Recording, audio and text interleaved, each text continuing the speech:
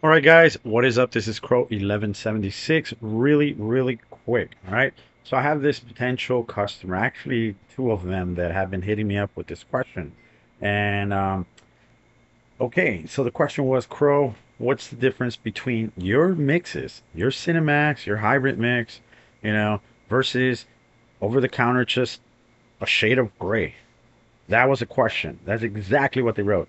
Just why can't I go to Home Depot and just tell them, hey, I need this gray? Boom, and done. Silver screen or whatever, right? So I do have a gray paint, all right? Actually, my daughter was painting something in her room, actually one of the walls, and she's decorating and all that stuff. So she had some left over, and I painted this sample right here. That's the Cinemax. I do have two windows open in the back, as you can see. It is pretty sunny. It is pretty bright. Um, Cinemax is not ambient light rejection. Of course, this over-the-counter gray shade paint is not awesome, right? But let's check it out and let's see what we get, okay?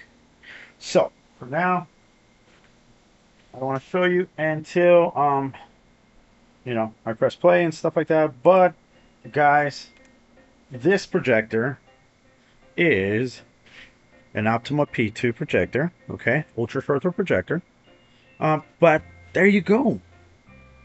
There you go. And I didn't change it. I didn't pause anything. All right. Nothing. Look. There's the gray. And there's my mix.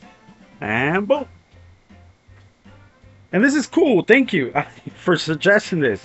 Um, I hope this answers your questions. I hope it kind of gives you an idea that, you know, your typical over the counter paint that you're going to just buy is not to have the goodness that you mix into it to enhance a little bit of the flavors.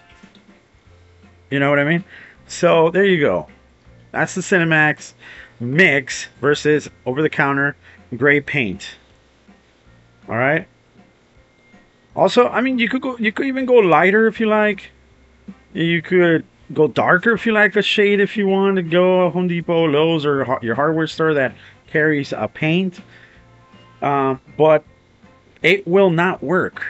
All right, it will not work. You think that you're just gonna plaster it on your wall and say, "Voila, here you go." I don't know. I think it needs a little bit more than just your over-the-counter paint.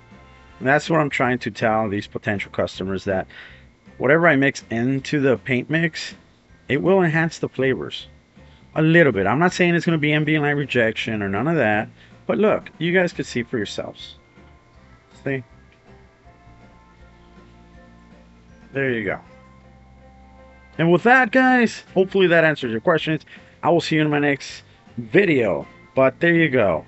Crow Cinemax versus your typical over-the-counter, just normal gray paint. All right? and it's not dark. I don't know why is it coming out dark. I'm not making anything up here. Uh, let me see. Look.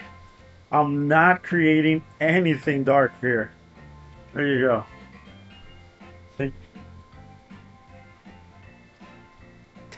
I, I, don't know. And it does have um it is eggshell because she bought she bought it eggshell. Um it does have a sheen to it, as you can see. But the Cinemax. Thanks for watching. Like I always say hundreds. This is Crow. And I'm out. Peace.